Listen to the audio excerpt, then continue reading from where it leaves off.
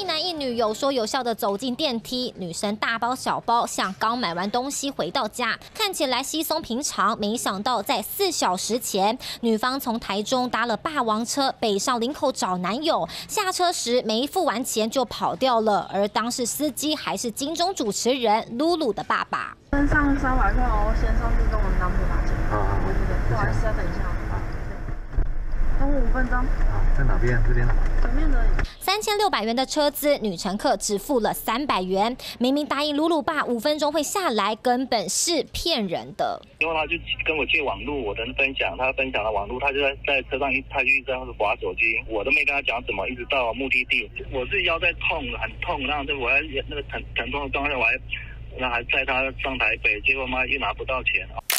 露露也在脸书上发文谴责打霸王车行为。事发就在十五号早上，计程车是陈姓女子男友帮忙叫的。警方事后找到人，两人声称因为当下没钱，干脆侥幸不理他。事后也被以诈欺罪送办，只是邻居透露，早就不是第一次发生。计程车回来没没有付钱，你知道吗？这个男生也是。也是啊，啊啊，我帮他付嘞，他没没有付钱嘛，他去开开路。辖区警方获报，很快的就把这名霸王女乘客逮捕归案。大家都是赚辛苦钱，没钱搭车就不要骗司机。这下小两口都被抓进警局，也希望能学到教训。三立新闻简汉明、陈婷如新北采访报道。